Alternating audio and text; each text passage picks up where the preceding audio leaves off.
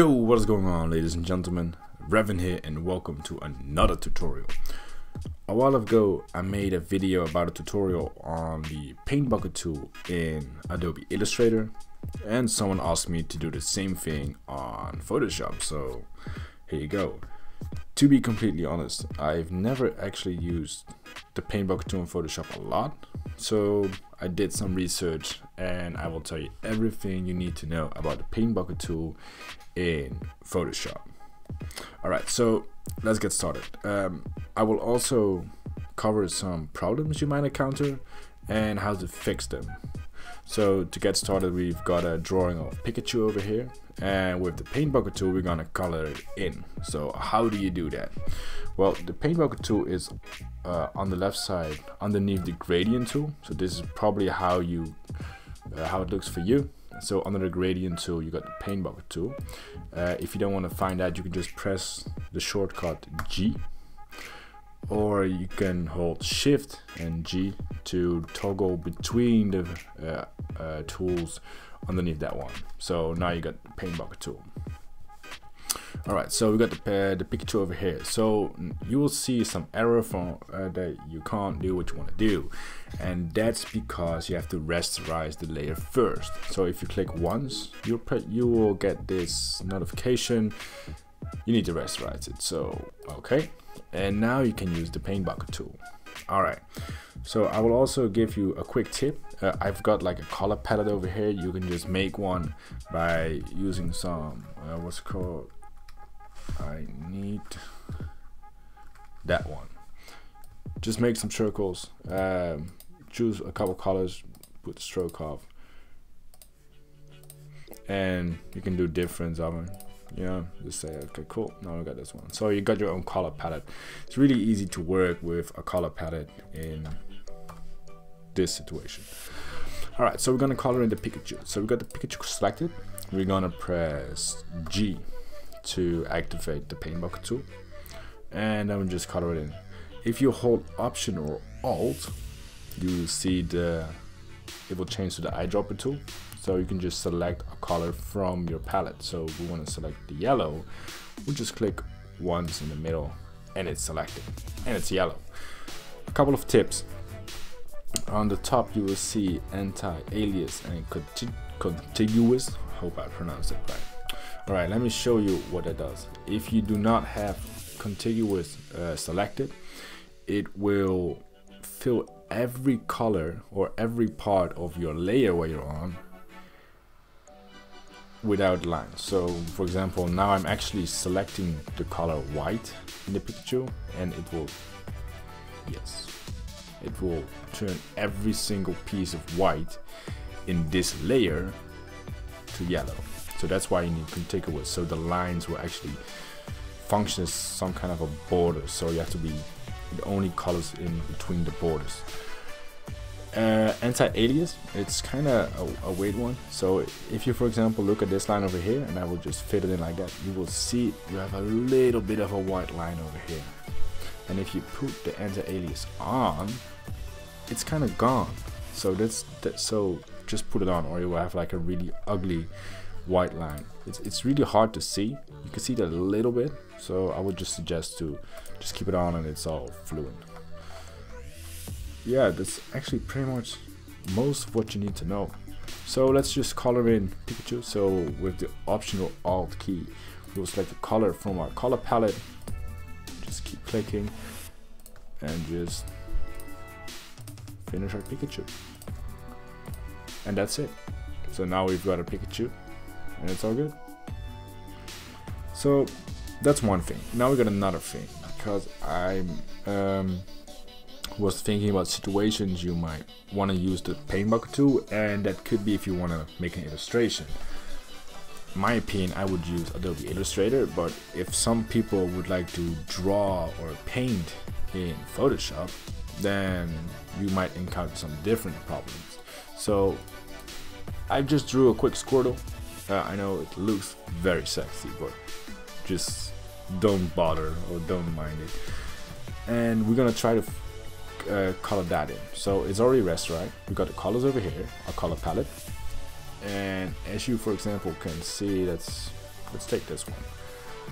If we want to select that color blue and fill that part in, you will see you have a white line, even with anti-alias. If, it's, if you put it off, it's even worse. You see? That's because you have like a, a soft brush with like it fades away at the at the edges. So that's how you got it. So what is a way to fix it? Well, it's not really actually the paint bucket tool, it's the magic wand tool. The magic wand tool is under the shortcut W, um, under the quick selection tool and object selection tool. You will just select the area which you want to fill. I do recommend to make a new layer and put it underneath the layer. So this is the Squirtle layer and this is just an empty layer. So you're gonna select the area which you want to fill and you're gonna expand it. And how do you expand it? You go to, uh, I have to, where was it? Was it select, modify, expand, that's it. Cool. So you just select it by, or expand it by, let's, let's say three pixels. No, that is too much. We're gonna modify it by two pixels. And then we're gonna go back to the paint bucket tool, G, go to another layer or to the layer beneath it and we fill it up. And now you see it's a lot better. What I do is, let's just delete that one, is you got the quick selection tool or the magic wand tool and I've made actually a shortcut for it that is command option and X. And you got the same thing. And then you just switch layer go to the paint uh, the paint bucket tool. And it's all done. How do you put it in as a shortcut? Because it's not standard a shortcut or by default you will go to edit keyboard shortcuts let me just put it over there. You will go down to what's it called? Edit uh, no it's not edit. Wait what was it? Uh, select? Yes select. And then you got it over here and you can select your own uh, shortcut over here. So I got command option X.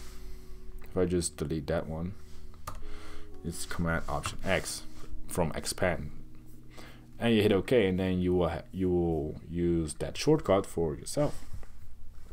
And that way you can just fill in the rest of Squirtle pretty much. Uh, do I got different things? Um, you got opacity and tolerance over here. Uh, the tolerance is actually well you won't you won't be actually needing it a lot. You can put it a bit higher. Um, it's mostly if you want if you already have a painting. So let's say for example um, put that one. So let's say for example I got that one over here get that one over here and we have like a blue over here. Alright cool. So if I want to color in this green and I put tolerance let's say at 255 then it should be coloring put contiguous off it colors like pretty much everything because the range of colors is really high. If you put it at for example one it will only color the green. So the tolerance is actually the range of colors it will fill or yeah fill with the paint bucket tool which changes a little bit from the color you selected. So now we have selected the, orange over here and if you put the tolerance really high it will have a really wide margin of colors it will also uh, change. Then you have the opacity. Well pretty much opacity is just the, the way it, it will feel, just a little bit just a little bit of orange. Like a you you're, you're blending two colors. So if I put the opacity so let's say for example 100 and I will make this part called yellow. And change the opacity to 40 and pick the color blue. You left kind of greenish. So that's pretty much it what I can tell you about the paint bucket tool in Photoshop. If you have any questions, put them in the comment section below. I try to read and answer every question you guys put in the comment section. Uh, might take a couple days, but I will reply to pretty much every single one of them. Uh, so I hope you enjoyed it. Uh, if what I say, if got questions, put them in the comment section below. Um, if you enjoyed the video, let me know. Subscribe to my channel, help me grow. And yeah, I'll see you later. Cheers. Hopefully you enjoyed the video. If you did, be sure to leave a like. If not, refresh it, give it another chance. Got questions? Just ask them in the comment section below, and I will see you in the next video.